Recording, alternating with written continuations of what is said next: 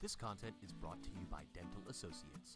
For more than 39 years, Dr. Stephen Price has been practicing dentistry in Northern Virginia. A member of the American Dental Association, the Northern Virginia Dental Society, and the Virginia Dental Society, Price is considered an expert in Invisalign and continues to be an award winning innovator in the industry.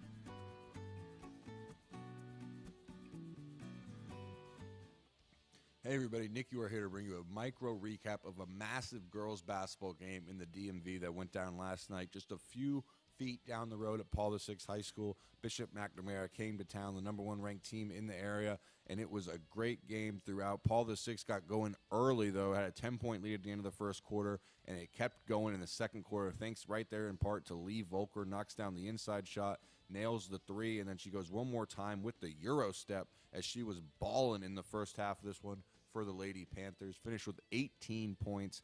Then you see um, that's number 31 for Paul the Sixth. Fiona Hastic with the nice move in the second quarter. And Paul VI really broke this one open in the first half. But then Bishop McNamara would try to come back a little bit, a lot thanks to that uh, girl right there, number two. That's Liatu King. Did all she could, knocks down the jumper, and with the nice move inside the up and under to try and keep McNamara in this game. And that's their star point guard, Yante Vaughn, with the nice dish to King, the no look pass there underneath. And then we see Hope Evans, the senior point guard, running the show in transition with the give and go. Gets the bucket there. Madison Scott, the McDonald's All American for Bishop McNamara, gets the and one as they tried to mount a comeback in this second half but it would not be enough. Paul the Six was on fire, really did whatever they want on flex cuts, threes. You see Isabella Perkins knocking one down right here for Paul the Six, the sharpshooter, uh, number 10 and you see they weren't done. That's uh, Lee Volker one more time from three, knocks down the corner three.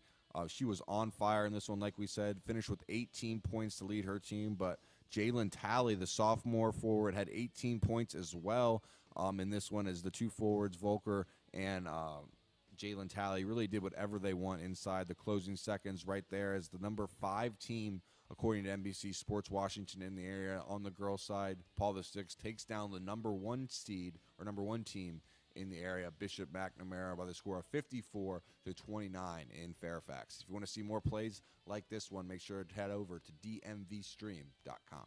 dmvstream.com, the Mid Atlantic's leader in sports video, broadcasting, and live streaming. Contact us today to learn more about our services and streaming packages. Visit us on the web at dmvstream.com. That's dmvstream.com.